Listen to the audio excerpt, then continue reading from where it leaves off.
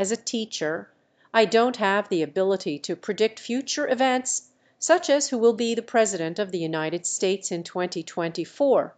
The outcome of an election is determined by the people who vote, and it is up to the voters to decide who they want as their leader.